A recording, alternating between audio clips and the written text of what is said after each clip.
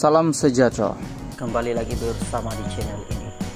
Channel ini akan memberikan info-info hangat yang panas di Malaysia.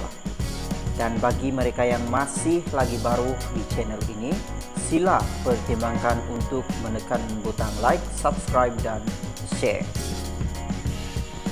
Mujur dah besar tak jadi mina rempet. Caption Datin Fauziah untuk Sahad Hamzah curi perhatian terbaru ibu kepada penyanyi terkenal Sila, Hamzah iaitu Datin Fauzia, berkongsikan gambar anak bungsunya Sahada Hamzah sewaktu kecil di Instagram story.